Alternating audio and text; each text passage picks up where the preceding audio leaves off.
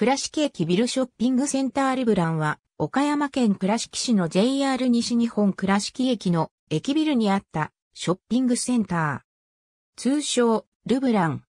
JR 西日本グループの倉敷ステーション開発株式会社が管理、運営を行っていた。1983年9月開業。ルブランはフランス語で白を意味し、倉敷美観地区の白壁の街並みにちなんで名付けられた。郊外の大型店に客を奪われた上、2008年末の倉敷千堀公園の閉園で客足が激減した。そのため2010年4月6日、ルブランと同じビルに入居しているホテル倉敷を2010年末までに閉鎖することが倉敷ステーション開発株式会社の親会社である JR 西日本から発表された。